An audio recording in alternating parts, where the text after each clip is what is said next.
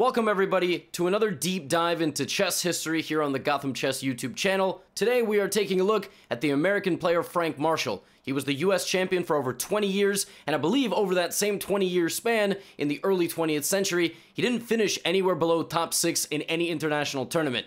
So, a very creative and imaginative player who frequently liked to partake in the intake of certain liquid substances during his games and just basically generally have a good time. Today we are looking at his game, number one, against Levitsky. Uh, and this one is known as the Gold Coins game. Because at the end of it, apparently the move was so gangster that they showered gold coins on the chessboard. Then I will show you another part uh, of his genius, but I will save you that for part two. But timestamps on the video player, let's go. We have d4, e6, e4, d5, what's known as a transposition to a French defense. You'll notice that the game actually does not begin with e4, which is normally how the French defense gets played. Uh, d4, e6 is kind of an invitation for white to go back to the French. Black play, uh, white plays knight to c3. This is known as the classical French. Maybe back then it was known as the I'm developing a knight to the center of the board French, defending my pawn. And black plays c5. Now it's pretty interesting because nowadays c5 is is known as a suboptimal move because here there is just a very quick kind of refutation of this setup where white can play e takes d5, takes and even take again. And basically, the problem is that you've just given yourself this weakness. When all the dust settles, now I'm sure Mr. Marshall didn't just, you know, he wasn't just going to lose this pawn. Maybe he was going to play d4 and attack the knight. Maybe he was going to play knight f6 and kind of wait to recapture the pawn on c5. But uh, it's pretty well known you cannot play c5 against knight c3, but you can play c5 against knight d2. Knight d2 in the French is known as the Tarrasch variation or Tarrasch variation. Here you can play c5 because the queen no longer, you know, occupies that that center uh, that center file. So c5, knight f3, knight c6. We have one trade, and again, dc5 here may be possible, but white just develops calmly. Bishop e2, knight f6.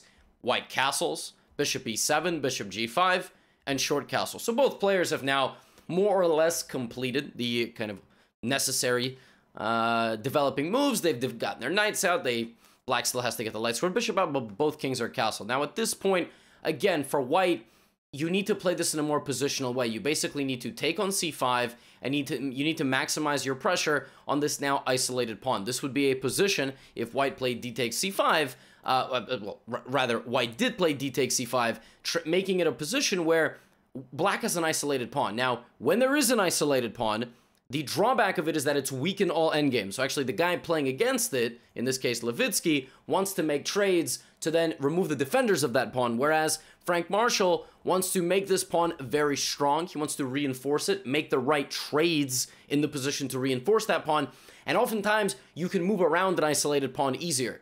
Does that make sense? Because you have more open lines and files because you've traded off its neighboring pawns. So there's a little strategy lesson for you. Uh, here he plays bishop e6, not recapturing yet because he needs to reinforce this first.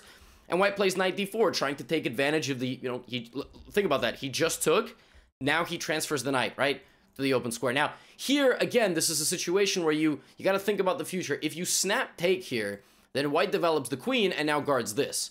You know, if you go to try to win this pawn back, maybe white's just going to go b4 and all of a sudden you're like running out of moves. You're, you're not going to be able to attack that pawn enough. Maybe you're going to have to play b6 and create chaos on this side of the board. So for that reason, you shouldn't snap take things. You have to evaluate what trades are good and bad. And now, now we get knight c, we get bishop c5, inviting the knight to take the bishop. Now, normally, giving up a knight for a bishop without a good reason is is not recommended. In this case, there are multiple good reasons to make this trade. Number one, you're no longer isolated. In fact, your pawns are together, which is what I just said right? I know what I'm doing, you know, I'm prefacing with the, and then, you know, intertwining the current position.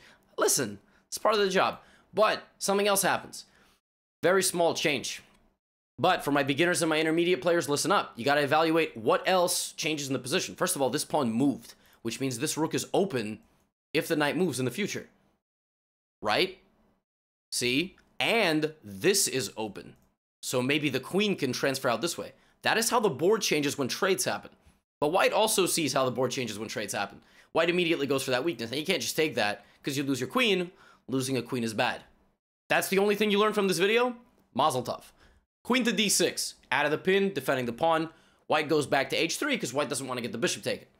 Now, rook to a, rook ae8. Basically, just taking a moment to get the only piece that has not moved yet to join the party. All right, get over there. Stop being a wallflower, right? Is that is that what that's called? Wallflower? I don't know. It's like the person who doesn't dance at the party. This video is all over the place. Queen to d2, and now bishop to b4. Essentially, Frank Marshall is saying, okay, I'm going to pin the knight to the queen, and then I'm going to play d4. And you're going to have a problem, right? So that's why we get bishop takes f6, an immediate reaction by white. But the thing is, that pawn trade way back when solidified the center, and now we see the point. Now the rook is going to get involved. Now white plays rook to d1. Okay? Queen to c5. Increasing the pressure, you want to go d4. You say, why? Well, you, Levy, you just said he was going to go d4. Why didn't he do it? Because in chess, my favorite concepts, danger levels. The queen is worth as much as a queen. So you can avoid a trade, or rather, you can avoid material loss by attacking something of equal value. So bishop takes will result in knight takes queen. You say, well, that's easy. I just move my queen. Then I, yeah, but then white takes with check because the king is also worth more than the queen. And then I move the queen out of the way. So that is why he didn't rush. He plays queen c5. Stay patient, y'all. Some of y'all play chess like you're, you know, late for a business meeting. Queen to e2. Bishop takes c3. Pawn takes c3. Queen c3. And now white plays rook takes d5. Nice idea here utilizing this pin on the undefended rook on e8. It's one of the reasons you don't snap take. In fact, if he takes here, it's white to play and win in three moves. Check. Now black has only one move. And now the bishop comes in as the hero. You have to go to the corner and you get mated. How quickly a chess game can turn, right? I'm winning, I'm winning, I'm And all of a sudden you want to throw your computer out the window. So rook takes d5 and Frank Marshall plays knight d4. Nice move, transferring the knight in. Remember, the queen has to stay pinning. So the queen moves to h5. Doesn't stay pinning, but, you know, it attacks the rook here. If the queen had gone here, this would have put some pressure on the knight. Uh, here there's a cool move for black, rook f4. Guarding the knight by attacking the queen, and you can't take because I would fork you. So that's kind of a cool trick. But queen to h5 using the concept of danger levels, and black plays rook f8. So now, again, we see the benefit of fe6 because the doubled rook's on the f file pressuring here. White plays rook to e5. Now here, Frank Marshall has a choice between two wins. Win number one is impressive. It's, you know, it's a normal win. It's a nice clean conversion of the position. Uh, but win number two gets gold coins showered on the board and gets a Gotham Chess YouTube video made about the game 109 years later. Because I believe this game was played in 1912. I will be extremely embarrassed that this game was not played in 1912. It was played in 1912. I just checked my other monitor. So, Clearly, Frank Marshall was thinking about making it into a chess YouTube channel 109 years uh, from then in 1912 when he played this game. So, the routine win is the very natural rook takes f2. Why is that winning? Because you're threatening to take, and if they take you, you have a bank, you have a back rank infiltration because this rook covers the f1 square. It's called X-ray, right? It's not this because that hangs a queen, but it's this. And it doesn't matter who blocks, whether it's the queen or the rook or this rook, it's mate. But Frank Marshall, like I said, wanted to end up in a YouTube video and played the move rook to h6. That attacks the queen. You say, what's, what's so good about that? The queen just moves. Let's say it just goes to g5. Well, here, Frank Marshall shows you the reason. Kabam! Now, Frank Marshall, trust me, if he had the option of crazy win, uh, uh, routine win number one and crazy win number two, he's going to go crazy win number two. Here's the point. You can't take, because I fork everybody, frankly. I mean, my horse just forks everybody. So we got rook to c5, and Levitsky must have thought, okay, I'm going to attack the queen. Queen's going to move. Maybe I can play rook c7, and this, and this. And if you'd like to pause here and find the move, although it was on the thumbnail, uh, please feel free to do so. I'm going to take a sip of my seltzer. Ladies and gentlemen, one of the coolest moves of all time. I present to you queen to g3. I mean, what more to say? What more to say? Queen to g3, white resigns, mic drop, game over. Here's why. If h takes g3, you've now opened up my rook's vision to the h file, and knight to e2 is mate. If f takes g3, you've opened up my rook's vision to your rook, knight e2, king h1, and rook f1 is mate. Okay? Queen takes. Potentially the funniest one knight to e2, king to h1, knight takes, and there is a double pin situation. King to g1, knight to e2 check, king h1, and, you know, probably this. And we have an endgame where I have an extra knight, which I trust that will they will win.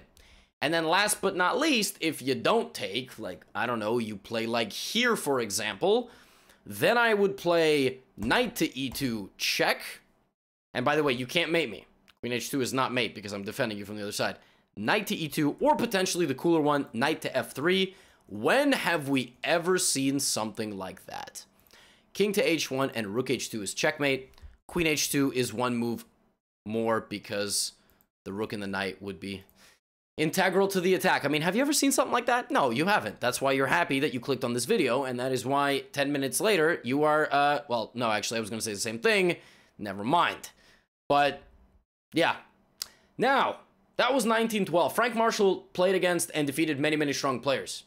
And I told you that after I showed the gold coins game, Queen G3. By the way, there there there is one kind of funny thing about this. Uh, some of the some people say that it's because people wagered on this game, so they just threw the coins. I mean, I like to believe that a game was so boss that people literally just took coins out and, you know, nowadays we all got some, you know, cryptocurrency debit. What are people going to throw their debit cards on the board? People are to throw their Amazon gift cards on the board. Like, relax. So the la- you know the the second thing that I wanted to show is uh, is a game, not not really a game as much as just the, the playing style of Frank Marshall. That last game was amazing, uh, and the move was amazing. But I just want to show you the contribution that Frank Marshall made to chess, which might amaze some of you. So Frank Marshall, you know, allowed the uh, the Ru- I always say Ruy Lopez, but that's not how you say it. Ruy Lopez. He always allowed the Spanish and one of the open main lines of the Spanish involves b5, bishop b3, and castles. And here, black plays d6, solidifying the center, and then deciding, you know, are you going to play uh, knight to a5, for example? Are you going to play uh, what's known as like the Chigorin, the, the Breyer, although back then not a lot of them had names, right? The Zaitsev system with bishop to b7. But Frank Marshall invented theory in this position, which is played to this day. Over a hundred years later, it's been worked out to be good. The best adaptation it had was Boris Spassky. Uh, the later part of the 20th century, he adapted it, and that is the immediate move d5. Now, according to computers, this is still playable for black, and this is the idea. Takes, takes, and you sacrifice the pawn in the center of the board. But white has no queenside development, right? And nowadays, people play c6, and what they do is they move the bishop to attack the king, they bring the queen out, sometimes they bring the bishop out, and it's pandemonium. And like, with optimal alpha zero preparation, maybe white has like 0.2 advantage, but oftentimes, you know, the games end in draws. Uh, but of course, the unprepared opponent, not the super grandmaster, will get absolutely destroyed in the Marshall positions. These positions are a disaster for white if you're unprepared because you're going to deal with four very angry pieces, maybe five very angry pieces further down the line.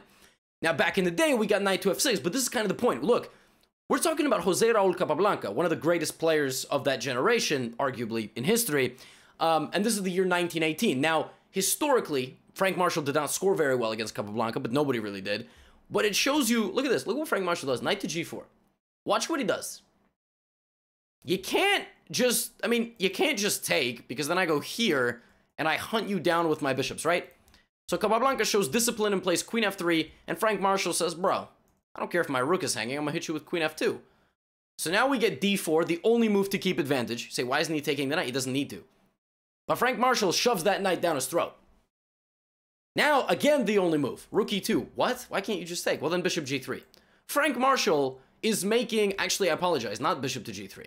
Bishop to g3 is wrong because I just realized queen takes f7 is mate. rook f7, rookie. oh, that would have been bad. I would have gotten a comment. Oh, oh, Levy, you hung mate in two here. Probably bishop to h2 check, I would imagine, but then king f1?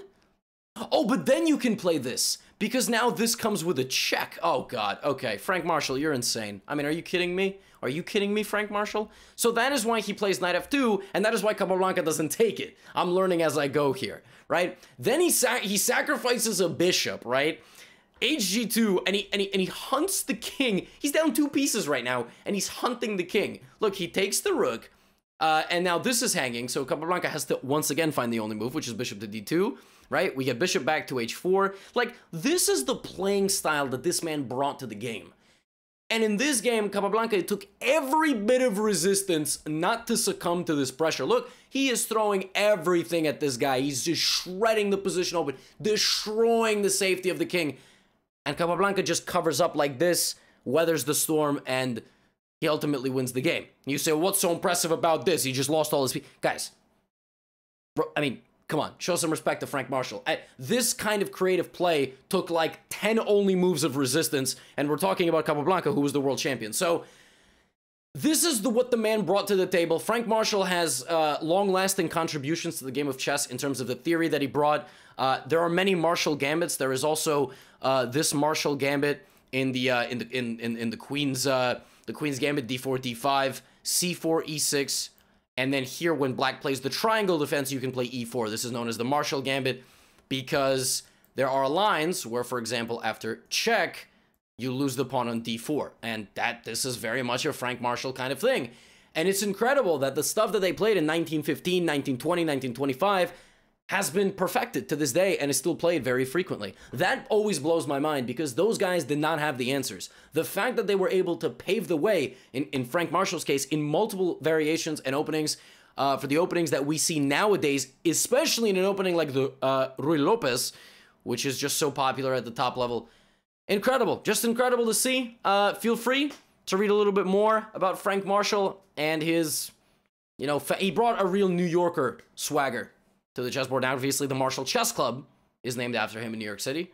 Uh, a club that I've played many, many tournaments at, all the way from, I don't know, I was about seven years old. I'm 25 now. So, yeah, once again, hope you are enjoying these dives into chess history and taking a look at some games. As always, if there's a player or a game that I have not yet looked at, do let me know in the comments below or upvote some of the other top comments so I do see them. I do read them. I frequently take ideas and then ultimately make videos about them.